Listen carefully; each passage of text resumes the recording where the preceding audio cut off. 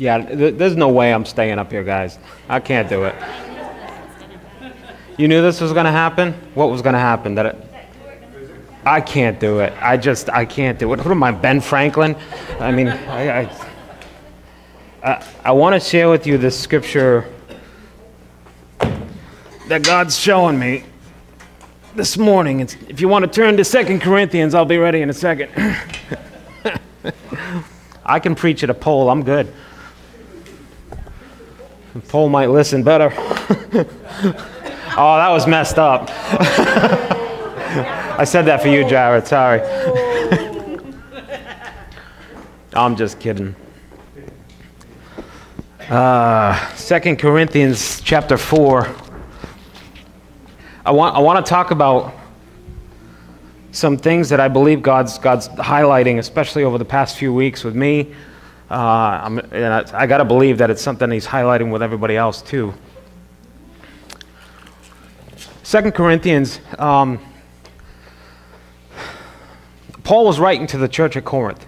If you, read, if you read the scriptures, it says that he was writing to the Corinthians, he was writing to Christians, those that would, that would read that later on.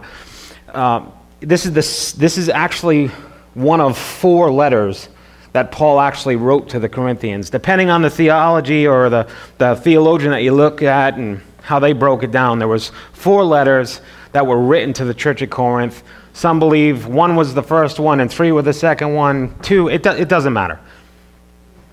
Paul was addressing some issues, is what was happening here. And he was speaking to the church at Corinth, he was speaking to believers, and he was sharing out of his own heart. He was sharing out of his own experience.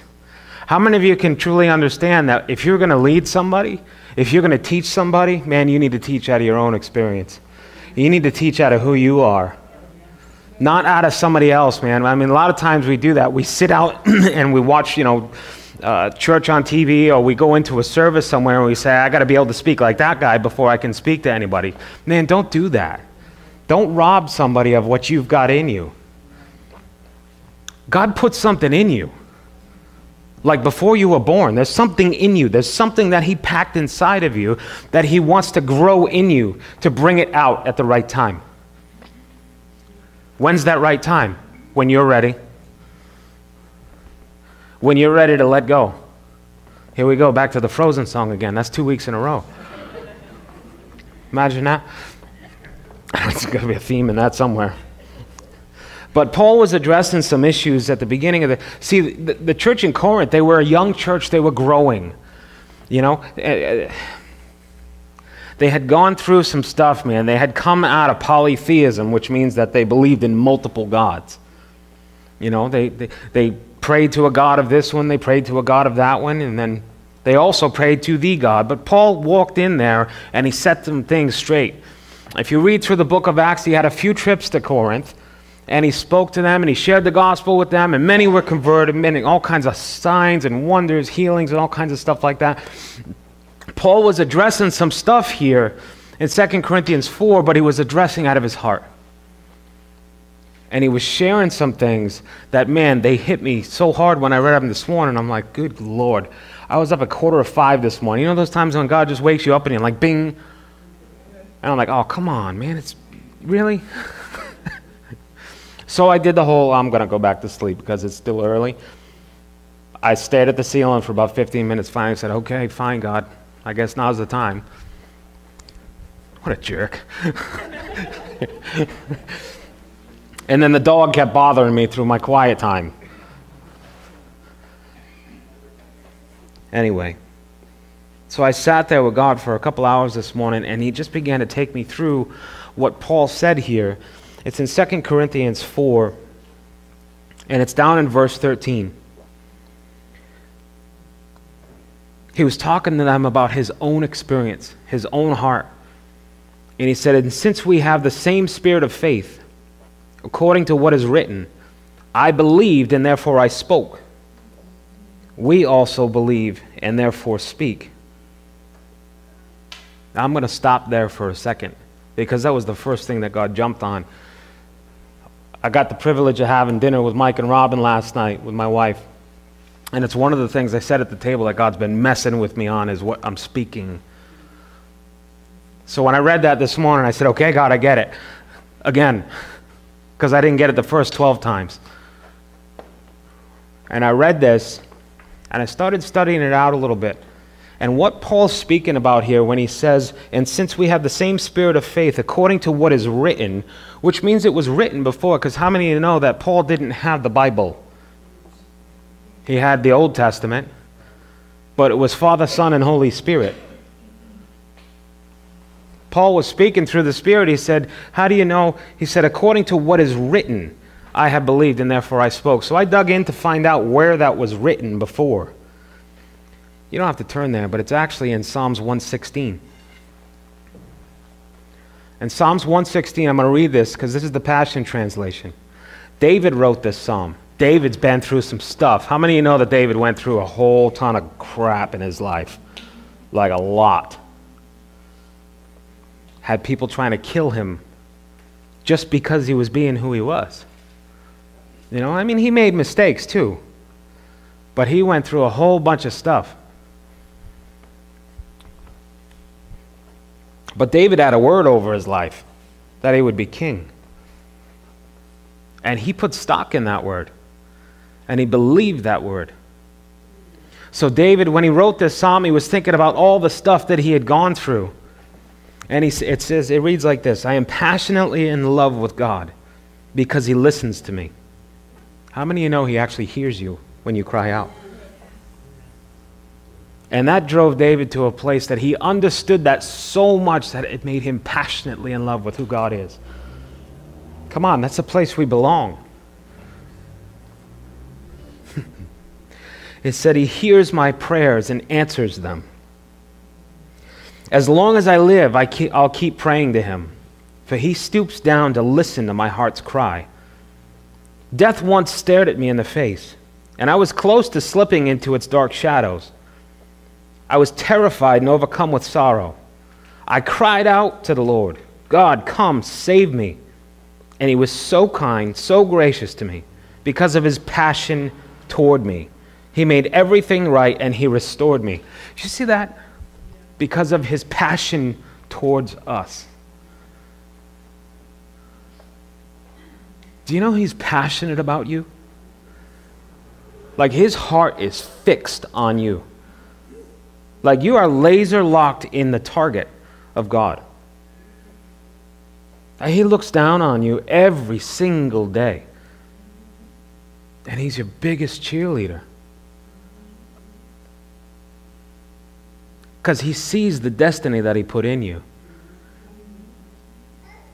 And he knows what you're facing. And he's going to say the same thing to you that he's been saying to me for years. And he'll continue to say for years Stay with me. Don't lag behind. Don't get in front. Stay with me. David learned that through the stuff that he faced. He continued on. It says, So I've learned from my experience that God protects the childlike and humble ones. For I was broken and brought low, but he answered me and came to my rescue.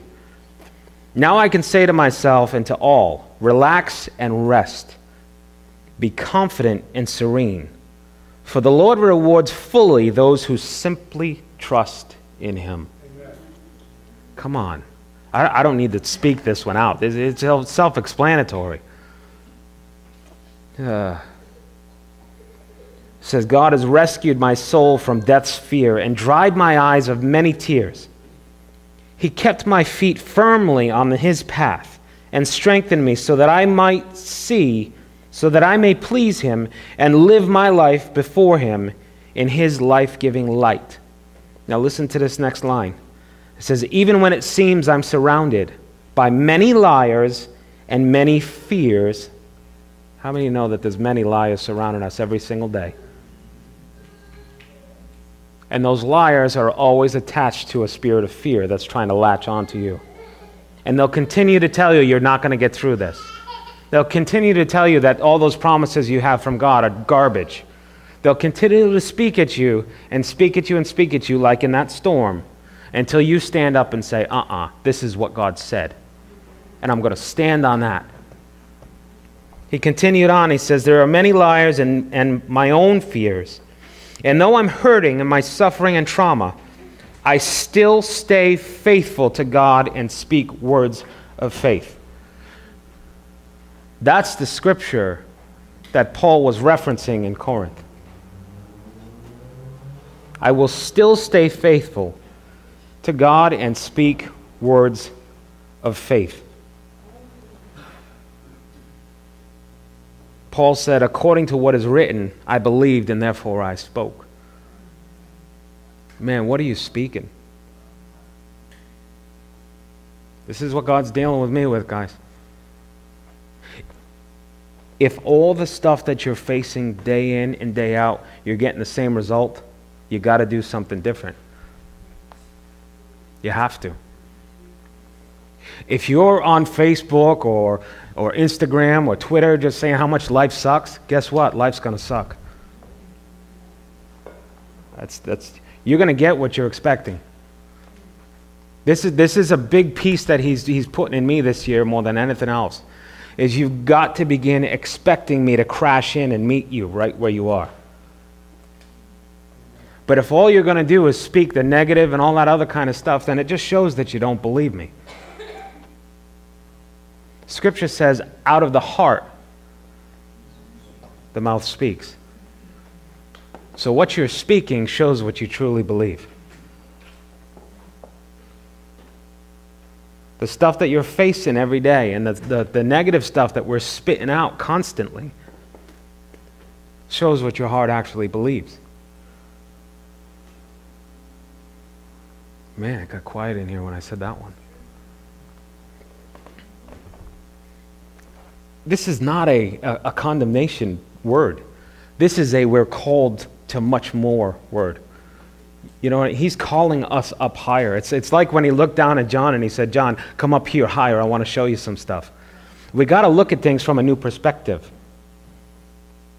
Man, for years we have done things, not only in our families, we've done things in the church We've done things personally that because it's just how we always did them. So we expect them to be the same when we do things the same. But what happens when you do that is you limit God. You know? We've had church revivals, we've had all kinds of stuff like that. And we followed a certain pattern to get there. Guess what? Follow that pattern right now, see what happens. It's not going to work because God's not there anymore. He's doing something different. It's that whole, behold, I do a new thing. And to do that new thing, it requires relationship. It requires you to stay with Him one on one and stay side by side with Him and hear what He's saying in a moment and step into that thing. Then you watch heaven invade earth. He's calling us to a new level of belief, guys, a new level of understanding. And you've got to partner with that. I have to partner with that. I can't just say, okay, God, you do it. I'm, I'm good. I, I'm happy about that. You're doing a new thing, so do your thing. Uh uh-uh. uh This requires you to partner with it. It requires me to partner with it. It requires me to start looking at my stances, my circumstances, and understanding who my father is in those circumstances rather than understanding the crap. It requires me to walk into the middle of the situation that I'm in, understanding who I am, and regardless of what's in there, it can't get on me because of who He is. Greater levels, greater devils. Come on, guys. We've said that for years too. How about I'm a son or I'm a daughter of the King? And I'm seated in heavenly places with Christ Jesus. And when I speak those words of the devil's under my feet, it's not just a punchline because that's what I learned in church for years. It's more understanding of who I am. And that because of who I am, I can walk new. I can walk free. I can walk in this thing and understand that I am here to change this situation. If you're in a situation right now, you're there to be a change. You're there to be the change. Right? You're there to shift the atmosphere. How do you do that? That's between you and God. That's between you and Him to say, okay, God, if I'm here and you want to change some things here, you're going to have to show me how to do this. Yeah, welcome to the conversation. That's all He wants, right from the beginning. That's all He wants. And then you can sit in that moment, and even if you only hear a little bit and you're not really sure, you step into it and you trust what He's saying. And you watch Him invade the situation. Faith requires risk, guys. It requires us to say, okay, God, I'm not sure if I'm actually hearing you or not, but I'm trying. So I'm going to walk this thing out. Man, God will meet that right in the middle of it. Even if you missed him wrong, he's still going to meet you. Because he's that gracious. Hmm.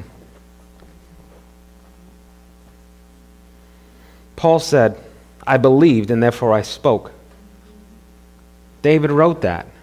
Paul said, We also believe and therefore we speak, knowing that he who raised up the Lord Jesus will also raise us up with Jesus and will present us with you. There was something inside Paul that understood who God was. And this is what he was trying to get out on the Corinthians. Guys, understand who you are. This is, this is God. He actually said throughout Scripture that you have the same resurrection power inside of you that raised Christ from the dead. The Greek word dunamis. It's where that word dynamite comes from. It's the same word that was used in the upper room when they were in one accord and the Holy Spirit dropped. Hmm. He said, For all things are for your sakes, that grace, having spread through the many, may cause thanksgiving to abound to the glory of God. This morning he said to me, Oh boy, if I can say it without getting messed up. He said, Thankfulness, Tom. Thankfulness paints the landing zone for the presence of God. Come on, guys, we're going into Thanksgiving here. If you continue to read that Psalm of David, let me read the rest of it. He said, So now, what can I ever give back to God to repay him for the blessing he's poured out on me? I will lift up his cup of salvation and praise him extravagantly for all that he's done for me. I will fulfill the promise I made to God in the presence of the, all the gathered people. When one of the God's holy lovers dies, it is costly to the Lord, touching his heart. Lord, because I am your loving servant, you have broken open my life and freed me from my chains. Now I will worship you passionately, and I will bring to you my sacrifice of praise drenched with thanksgiving. Sacrifice of praise, drenched with thanksgiving. I just love how he wrote that. Sometimes it can be a sacrifice to praise in the middle of your circumstance. It requires you to take what's hurting you and, and what's holding you down and drop it on the altar.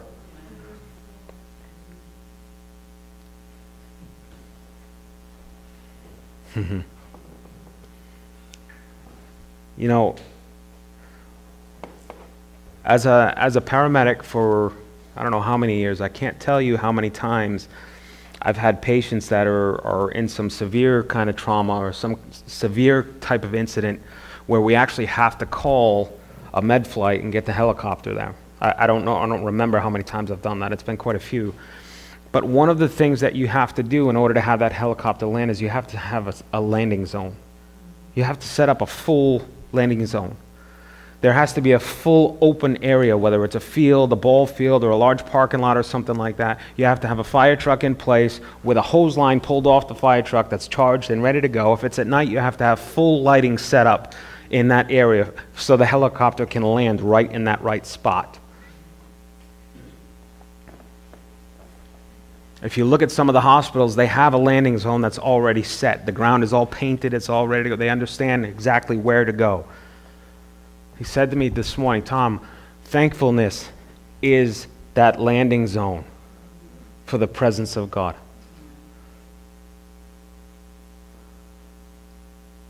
We don't think of thankfulness when we're in the middle of a mess. David sat here and said, I've been through all of this stuff. And what it's done is it's pushed me closer and closer to you. So I will give you my sacrifice of praise and I will drench it at thanksgiving. And in that place, the glory of God will land on it. And it shifted David in such a way that he could never go back to who he was. Come on, that moved God's heart. God named his own son the son of David. How does a man win that place with God?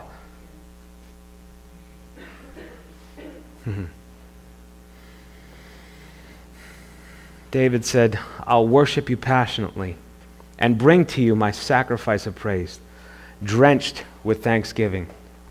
How many of you have ever heard of the, the, uh, the, the theory of cause and effect? Right? So, cause is the action or the event that makes something else happen. That's the effect. So you do something, and because you do something, this happens. It's where we are, guys. But how many of you know cause and effect means you don't walk into this event because it's going to cause this? You just walk in it because it's who you are. Paul said, I believe, therefore I spoke. He believed first. I believe that God wants to open a new level of understanding and a new level of belief in every single one of us. I believe that He wants to open our eyes to see that there are circumstances that we're facing, or certain things that He's calling us to, even certain visions that you've had, that He wants to fulfill. And the only way He's going to actually begin to fill them is when we decide we're going to believe it when we're going to look beyond our circumstances, or when we're going to look beyond the issues that we're facing, and we're going to say, God, yes, you said it, I'm going to believe it, regardless of what's going on around me. And I'm going to walk in such a way that I'm going to speak this thing out.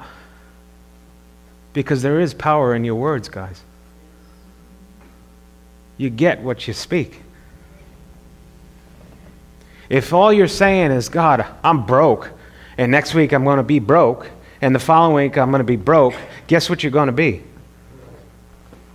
It's not rocket science. But you begin speaking the promises of God that are over your life.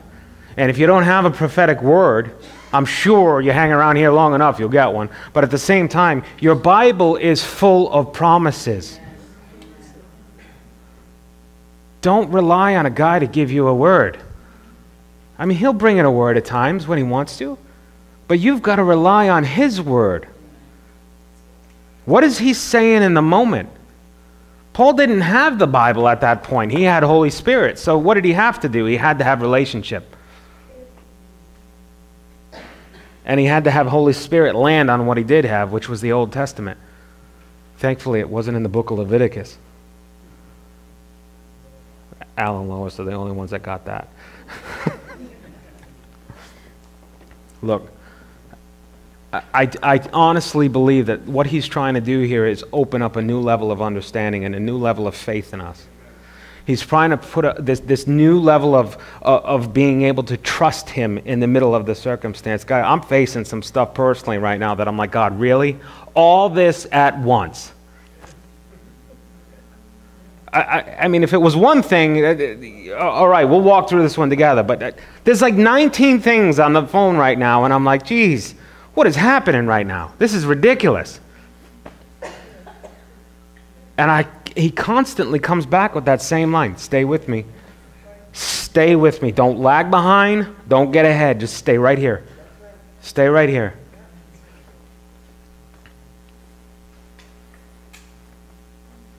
And He's bringing us to a place where we can look at what He has already done. And we've got to take that into the circumstance you're at. This is why David did what he did. This is why he spoke what he spoke. He took his history with him. Not the bad stuff, the good stuff.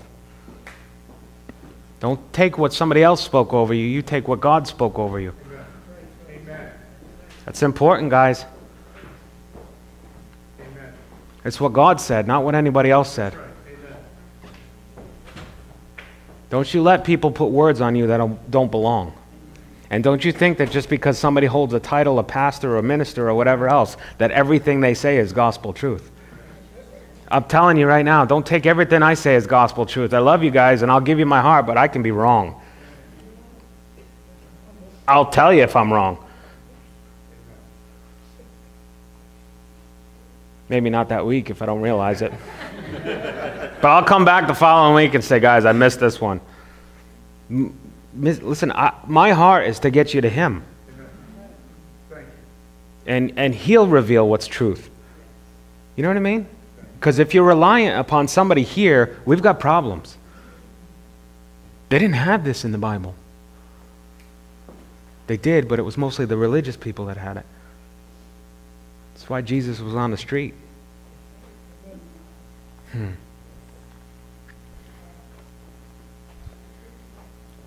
That thankfulness, guys, and being able to look at what he's done and being able to look at the circumstance and hear his promise in the middle of the thing and thank him before it even happens, that creates the landing zone for the presence of God to land in there. You know? We have a lot to be thankful for this. Just not even just this year, just in general. We're gonna take uh, we're gonna take communion this morning. Um, let me get Al and somebody else with Al, Randy whoever.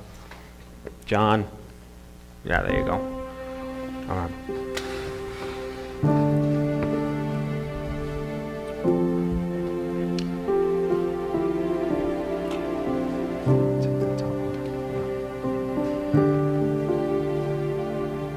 If one of you can just make sure that she gets it over and yeah, yeah, yeah. Thank you. So if you'll hang on, we'll take it together.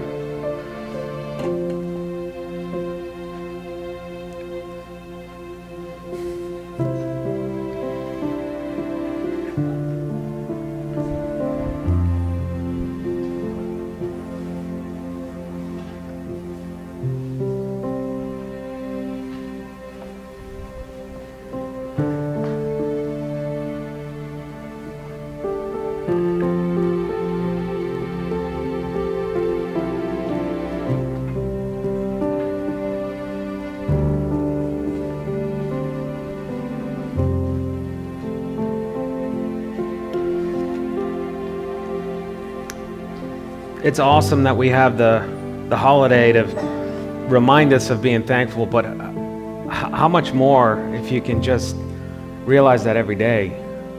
You wake up in the morning, God, thanks I woke up. You know what I mean? Oh, thank God that I messed up yesterday, but your mercies are new every single day. You know? That's, that's the mindset, it's the shift.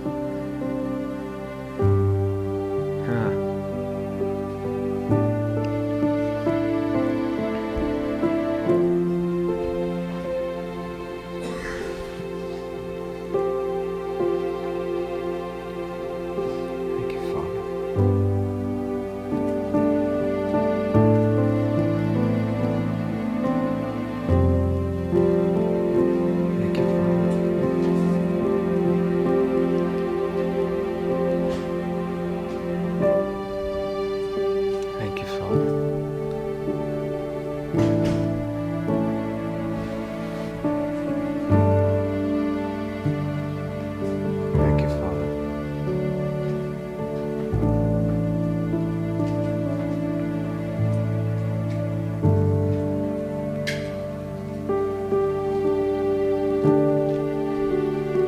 Would you would you close your eyes for a minute?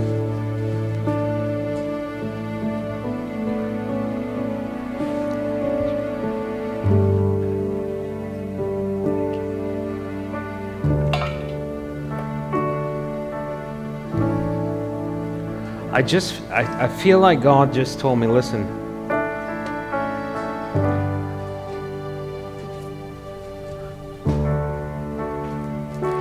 We're gonna do, we're gonna do this together, communion together. But I feel like God said, I want to deal with an issue quickly before. It's funny because there are issues that God deals with over a long time, and there are issues that He deals with quickly. And I feel like He said, I want to deal with this one quickly before we take communion. God's going to highlight somebody in your heart right now that you need to forgive. You're going to highlight somebody inside you that you need to forgive. Don't question it. I, I know you probably feel, because I can hear this one in my heart, you probably feel like you dealt with that already. But if God's highlighting it, there's a reason.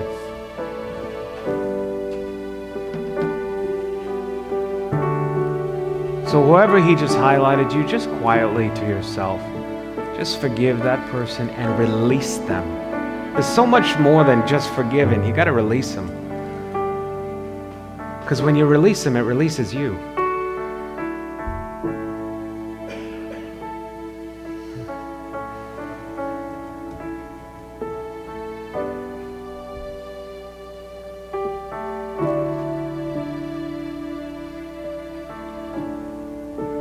Put yourself in that upper room with your eyes closed. Put yourself there.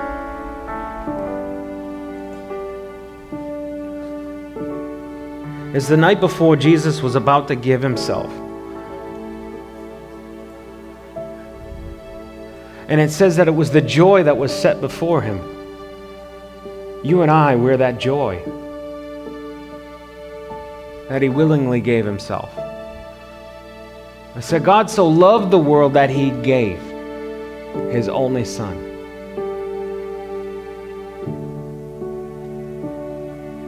So he took that bread and he, he tore it and he passed it and he said, Take this. This is my body that's broken for you. So, Father, we receive that right now and we thank you for it,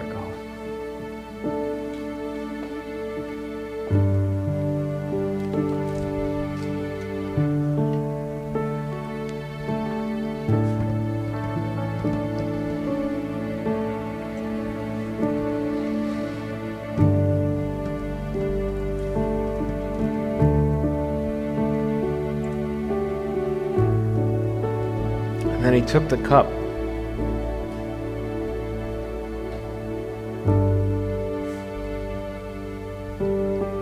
And he passed it. He said, This is the blood of my new covenant. Don't take this cup like you've taken this before.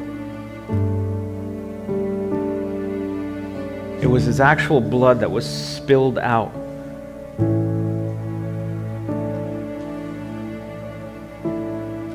Make us fully clean. It's the blood that still lays on the altar today and cries out mercy to the Father. It still cries out today. He said, Drink this cup. As it's poured out for you.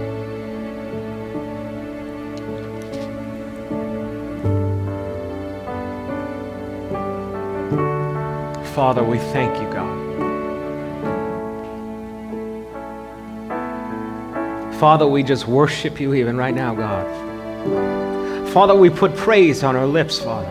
Just begin to praise Him right where you are. Just begin to thank Him right where you are for all that He has done and all that He continues to do. Man, this can't be about just what somebody up here speaks. It's got to come from your heart.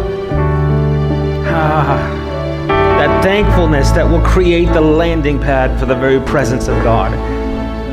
So, Father, we thank you, God. We thank you, Father, for your Son.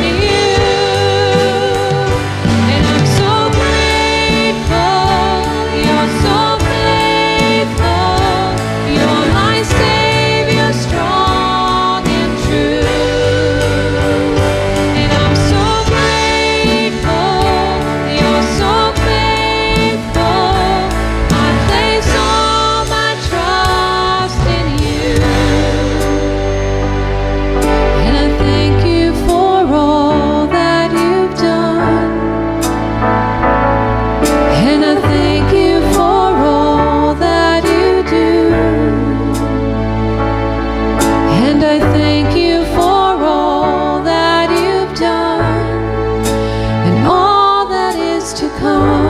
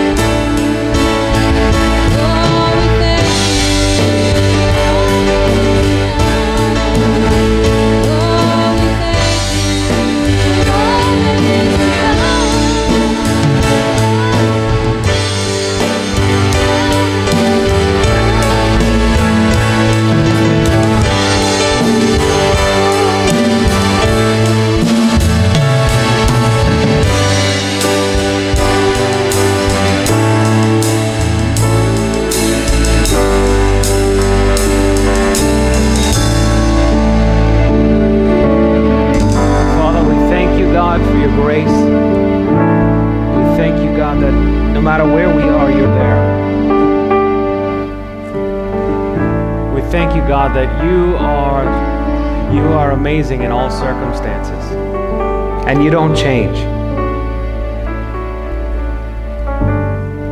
We love you, Papa.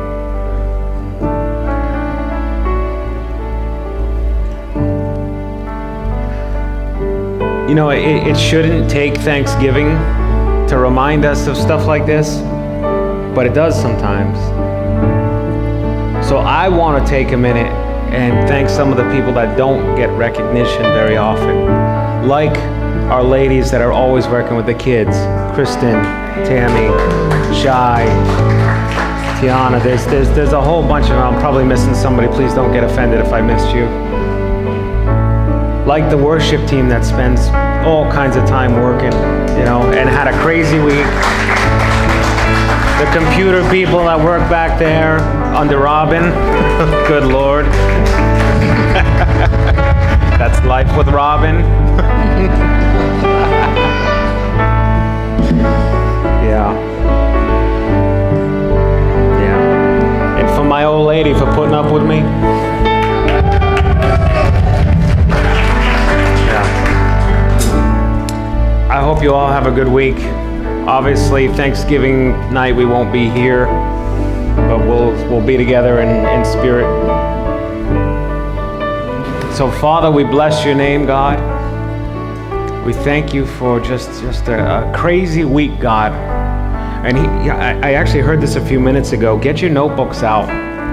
Get your notebooks out in the night season because I believe he's going to start releasing visions and dreams on the overnights. Like he's going to begin waking you up. And if you've got a notebook and a pen ready, you're ready to steward what he's given you. Put that next to your bed and watch what he does. Don't worry about trying to figure it out. We'll work that out later. But as he starts releasing, if he knows you're going to steward what he's given you, he'll give you more. So, Father, we thank you, God.